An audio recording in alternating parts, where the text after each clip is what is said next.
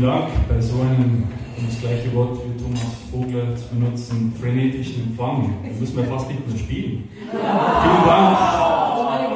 Ein Stück reicht, oder? In den Biergarten. Ähm, fangen wir mit der Vorstellung der Band an, mit dem weitgereisten Spezialgast heute Abend, Steve Lance an der Trompete.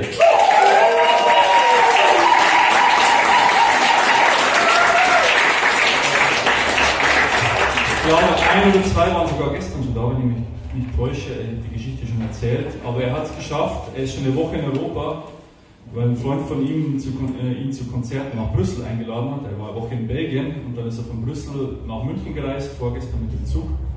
Und genau, der Zug fährt gerade vorbei. Und äh, so ungefähr in dem Tempo. Und es wäre eigentlich, ich glaube, fünfeinhalb Stunden gewesen, äh, Brüssel-München mit zwei verschiedenen ICEs. Und er hat es geschafft, von Brüssel nach München länger zu brauchen als von New Orleans nach, nach Brüssel.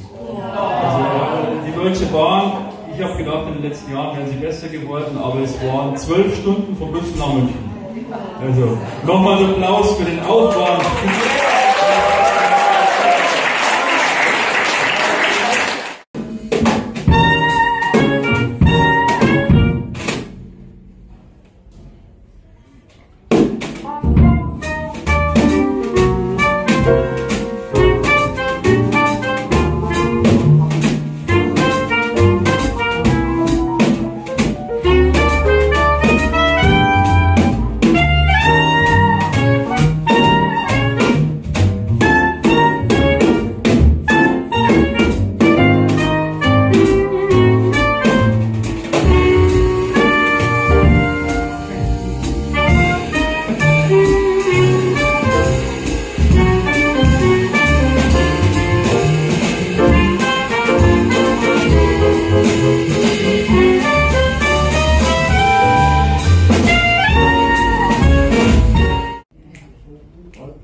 Okay.